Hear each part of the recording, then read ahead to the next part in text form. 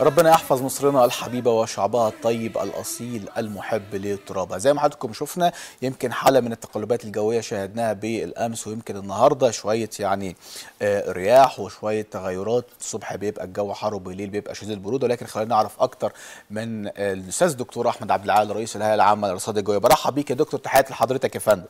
أهلا بحضراتكم والسادة المشاهدين في البداية بقول لحضرتك كل سنة وحضرتك طيب وكل العاملين بالهيئه العامه للارصاد الجوية بألف خير وصحة وسعادة وبمناسبة يوم العالم للارصاد الجوية صح كده؟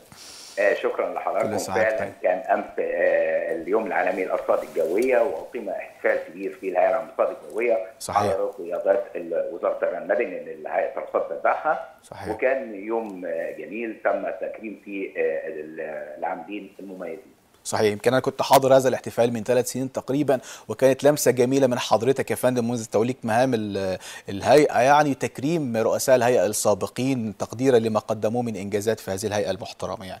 كل سنة وحضراتكم طيبين ودايما بنعتاد من حضراتكم كل ما هو يعني مهم لبلدنا. طمنا يا فندم على حال الطقس أخباره إيه النهارده؟ وخلال 72 ساعة اللي جايين إن شاء الله.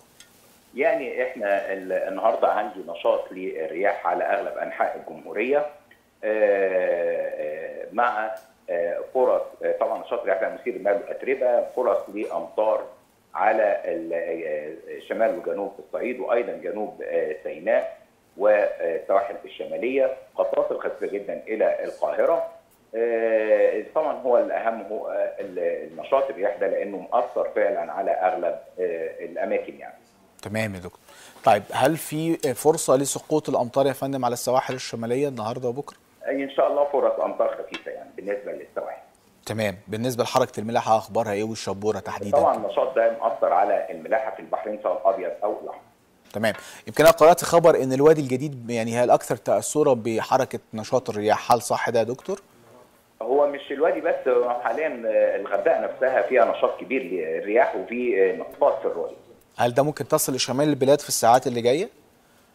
لا لا مش توصل لشمال البلاد هي محصورة على الأماكن آه، اللي بالنسبة للنشاط الرياح موجود على كافة الجمهورية. لكن إن هو يصل آه، إن الرؤية تقل قوي هيبقى خاصة أماكن المكشوفة والصحراوية. طب الشبوره اخبارها إيه يا فندم وتحديدا على الطرق السريعة؟ لا طبعا نشاط الرياح ده مخلي ما فيش شبوره لكن في الصباح الباكر ده بتبقى فيه شبوره لحد الساعة 8 كده تمام. مرضى حساسيه الصدر وتحديدا في حركة نشاط الرياح والأتربة يا دكتور؟ النصيحة اللي ممكن تقولها لهم إيه؟ طبعا لازم ان إحنا يبتعدوا تماما عن آه، هذه الأتربة ومراجعة الطبيب بتاع أول بأول. تمام. بشكر حضرتك جدا الأستاذ الدكتور أحمد عبد العال رئيس الهيئة العامة للإرصاد الجوية اللي طمنا على حالة الطقس النهارده. ونصيحة مهمة جدا كمان اسمح لي أضيف على كلام الأستاذ الدكتور أحمد عبد العال خاصة بمرضى حساسية الصدر أو حساسية الأنف.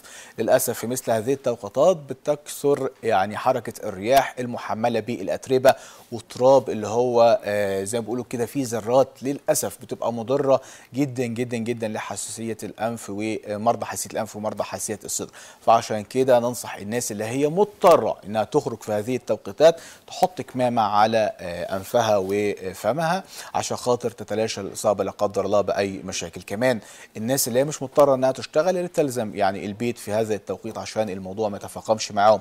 وألف مليون سلامة على حضراتكم جميعا. يا رب دائما دمتم في صحة وعافية.